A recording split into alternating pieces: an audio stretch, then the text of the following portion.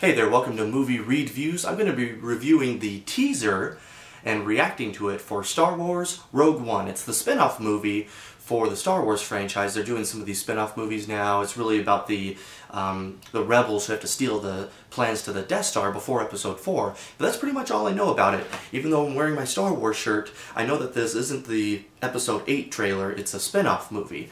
So just realize that. I'm not the biggest Star Wars fan, but I'm an up-and-coming fan.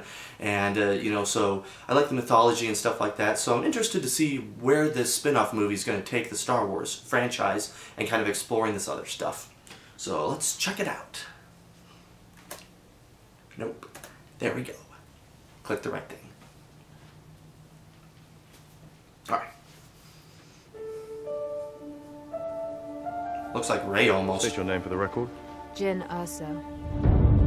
Jyn Erso. Forgery of imperial documents, possession of stolen property, aggravated assault, resisting arrest. On your own from the age of 15. Oh. Reckless, aggressive, and undisciplined. This is a rebellion, isn't it? I rebel. It's a war film. We have a mission for you. A major weapons test is imminent. Dang. We need to know what it is and how to destroy it. Is that clear? Yes, sir. Yes, sir.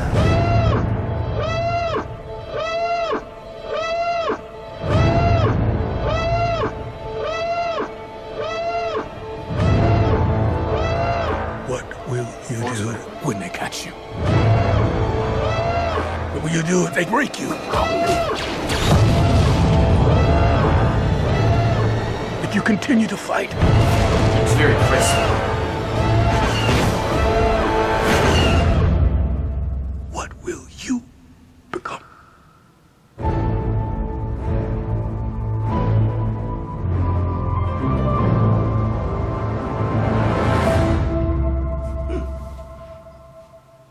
Nice. I was like 90% sure I was going to see uh, Darth Vader, or at least like hear his voice or something so people can know it could tie back to those movies, but they were gutsy. They didn't do that.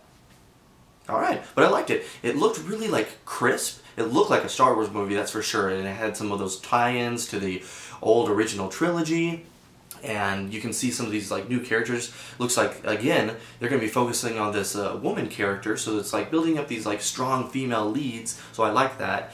And uh, i forget the, the lady's name jinsu or something like that. I, i'm bad with names.